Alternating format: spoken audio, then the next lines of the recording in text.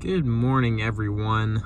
I am chilling in my car right now here in the Atlanta area, getting ready for the day.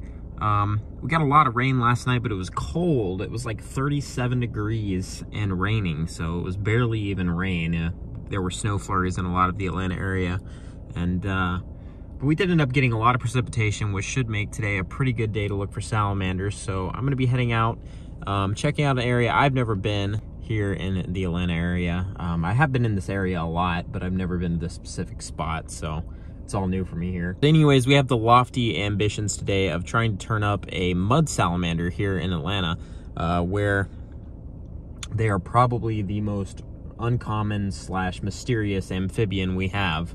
Um, they're only known from a couple of places on the south side to my knowledge, and uh, if we get one here, it'll be a county record potentially and definitely a huge find for me. Um, but either way, it should be some decent bycatch today, even if we don't see our main target.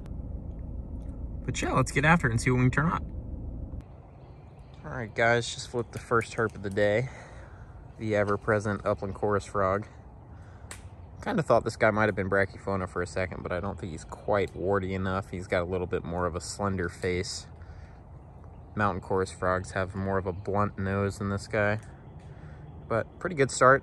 Still pretty cold outside, probably in the high 30s, so I'm just gonna slip this guy back under his log. And, oh, about to lose that guy, but nice spotted salamander double flip right here. Looks like two big boys. Actually, that might be a girl, but big spotted salamanders. We're probably gonna see quite a few more of these today. This is our fourth, I think, chorus frog of the day under a log.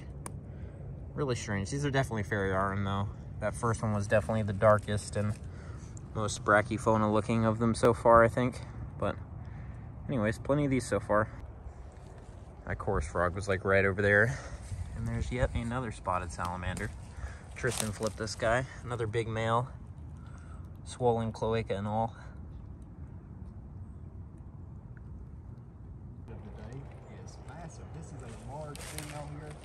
Notice she is much chunkier and does not have the swollen cloaca like the males in the previous clips. So I flipped this guy. This is the first southern two-line salamander of the day. It's actually a girl. And uh, right here, Tristan flipped a big gravid female spotted. And she's huge. You see her next to this two-line. But pretty good diversity so far and decent numbers. And it's still early and cold, so I'd say we're probably in for a pretty salamandery day at the very least. But it is going to warm up fairly nice today, so there's always a chance we could see something else too. But anyways, we're going to put these two back under their logs and keep moving.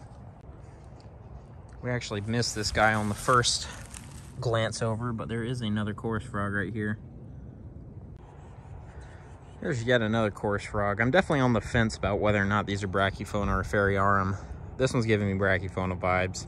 But uh, the easiest way to tell these two apart is when they start calling the I have a noticeably different call. Um, but we're gonna get a lot of shots of these guys. All right, guys, next notable find of the day. Large seal salamander I just flipped. We saw a couple of them right here in this little rock jumble, but uh, they're slippery and big, and we lost one of them. You know, saw a bunch of smaller ones and maybe a few conanti in there too, but this is a currently undescribed species of seal salamander that uh, hopefully will be named here shortly and we'll uh, have an official name for these guys. But for now, I'm just gonna call this a seal salamander. But really cool looking big desmogs. These guys are almost as big on average as black bellies, which are the biggest desmogs. So really cool to see. Anyways, we kind of moved uphill a little bit into this more spring salamander habitat and hopefully we'll be able to turn one of those guys up if we don't see any mud salamanders. All right, guys, Tristan just flipped something pretty cool. This is a little writhing nest of Eurycea eggs, probably two-line salamander. But uh, we saw this earlier, it was January. It had to have been January because it's February now. I guess it was probably in mid-January that we saw some of these guys after they'd been freshly laid. But this is a more mature clutch that's probably going to hatch out here within the next couple weeks. So pretty cool to see. Anyways, we're going to try to gently replace this rock and keep working our way up the stream. All right, guys, we're still making our way up the seepage, and it just keeps getting better and better looking for spring salamanders. But I turned over a log and saw this little guy underneath. He's not very little, actually. This is a pretty hefty northern red salamander. Really handsome looking adult. Good condition. And uh, definitely probably the highlight of the day so far. Anyways, we've seen a lot of these guys recently, but they are always one of the things I look forward to seeing this time of year, so I will not complain about that at all. And hopefully we'll be able to round off the day with the spring here in a little bit. But this habitat, like I said, just keeps getting better and better, so hopefully we'll be getting into springs here soon.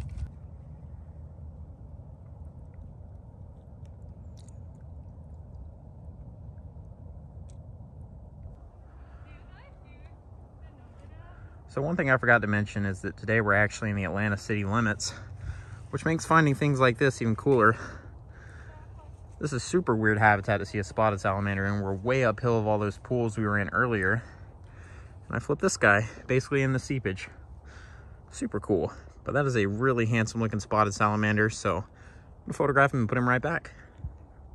Today is definitely shaping up to be very salamandery though. All right, releasing what will probably be the nicest spotted salamander of the day back into his log.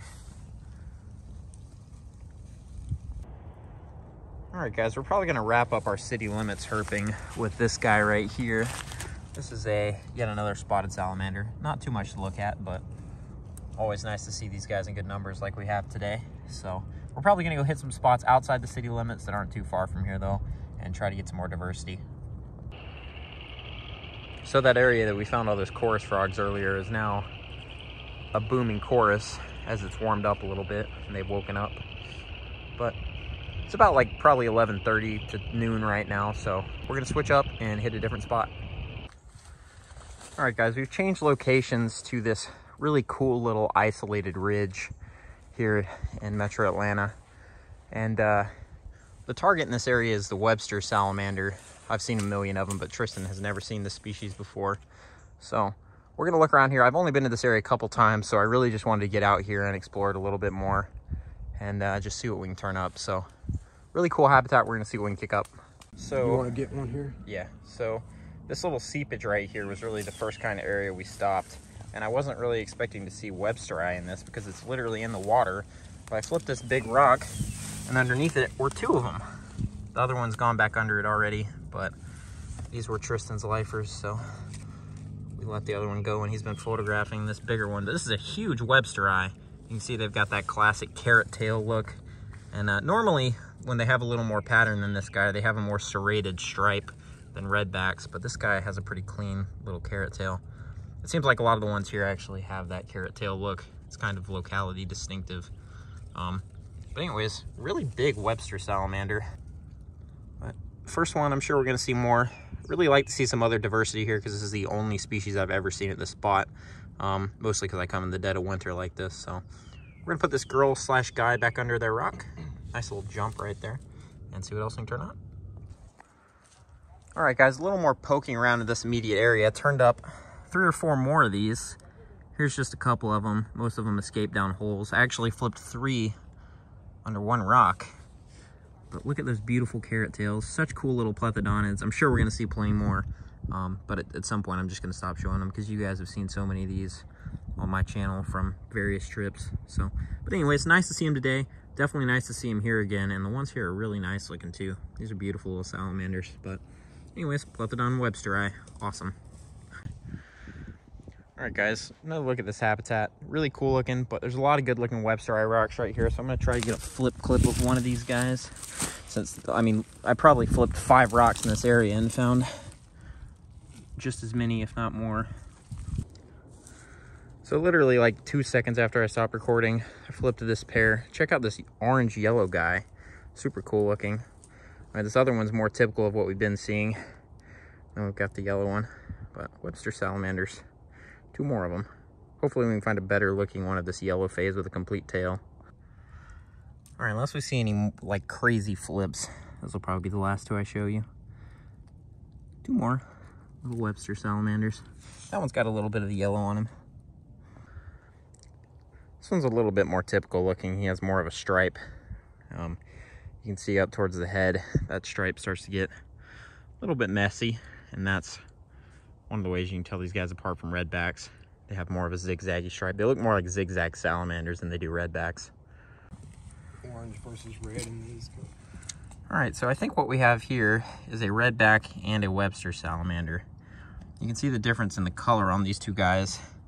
And uh, the way that this one has the, the kind of snowflake flecking on its sides definitely makes me lean redback. This area is one of the only places, if not the only place, where these two are known to occur sympatrically. So maybe redback on that one.